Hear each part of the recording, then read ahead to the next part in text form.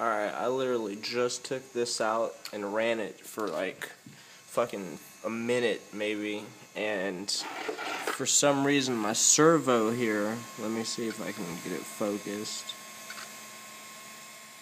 My servo? That piece?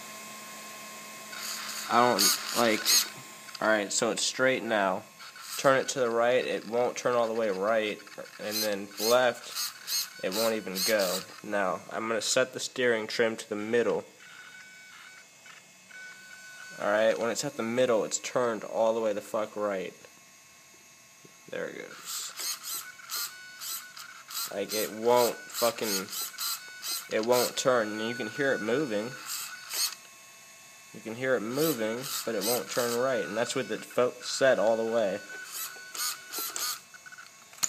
the wheels just got stuck right, and I mean, my turnbuckles are still on right.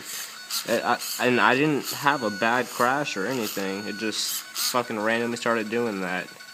And I, I'm using my iPhone camera, so it's kind of shitty. I can't focus it, but I mean, you can you can hear it, and look, you can see that you can see the piece moving right there.